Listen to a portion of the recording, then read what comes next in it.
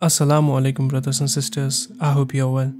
Sky News has been extremely depressed and sad for the past two to three days. Anyone who had watched their most recent broadcast could tell that the Sky News host was about to burst into tears from the great sadness she was suffering. But before you start thinking that Sky News was devastated by what happened in Gaza in the last 48 hours, we would like to assure you that this is not the cause for the host of such a show of sadness. And the uh, four soldiers that have died have now been named. All of them were just 19 years old. They are Sergeant Omri Tamari. Uh, in addition to that, Sergeant Joseph Hieb, Sergeant Yoav Agmon, and Sergeant Alon Amitay. As I said, all four of them just 19 years old. As seen in the video, Kay Burley, a Sky News host, was horrified by the deaths of four Israeli soldiers who were only 19 years old. The reason for their tragic deaths was that they were present at the military base that was targeted by Hezbollah. They were just 19 years old was mentioned by her twice to emphasize how young they were and in their honor Sky News listed all of the deceased facts and posted their images for everyone to see.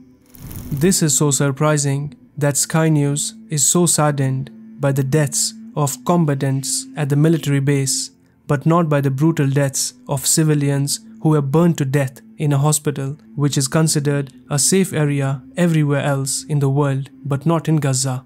Where was the pain and regret over the news that Israeli forces struck the base of Al Aqsa Hospital in the middle of the night when everyone was sleeping, where babies, small children, and mothers were seeking refuge, as well as severely injured patients receiving medical care. The clips depicting the horrors of that assault were widely shared online, and people were struggling to witness the scenes of innocent civilians being burnt alive. But Sky News and other media outlets do not bother to report such atrocities when they are committed against Palestinians. During a war, military bases are the most vulnerable areas that are targeted by the opponents, and those four 19 years old had made the decision to be present there and be a part of the military expedition. They knew about the risks they were undertaking, but what about the kid who was getting medical care in the hospital and whose wrist was still connected to the IV drip while he got burnt alive? What about all of those displaced civilians who were present at that hospital and were sheltering in makeshift tents because they thought that hospital is a safe area that is prohibited to be attacked even during wars?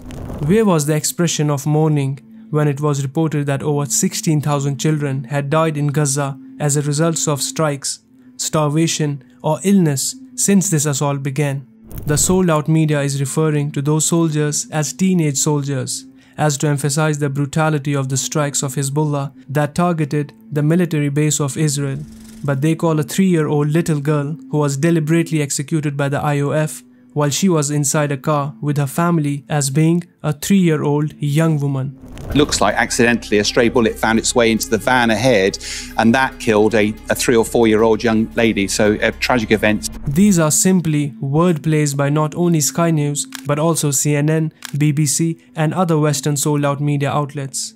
They are aware that they have the ability to modify the narrative at will, and they are using it against the Palestinians only to defend the actions of their masters. The brutality of the recent assault on Al Aqsa Hospital was so extreme that it was unbearable to even see the recorded clips.